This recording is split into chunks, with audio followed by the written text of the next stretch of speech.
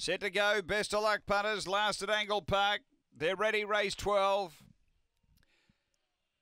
Set and racing. And there's speed coming from Springvale. Sure, it's going to drive and look for the front and get it early on. Ran Rockstar Ruby up the track a bit and diving through Sanday Vision. Have a look at this. Really tight. They really made a jumble there and getting away Sanday Vision by about four or five lengths. Springvale Sure.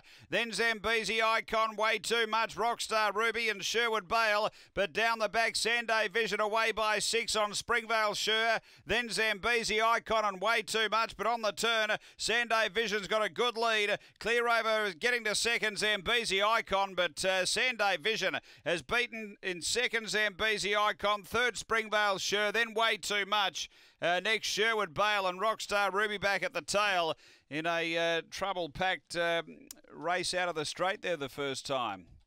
Kathy Johnston with the winner. Uh, number one has got the prize which is Sanday Vision for Kathy Johnston. Uh, second to seven, Zambezi Icon for Johnny Banner. And third going to two, Springvale Sure for Mick Giniotis.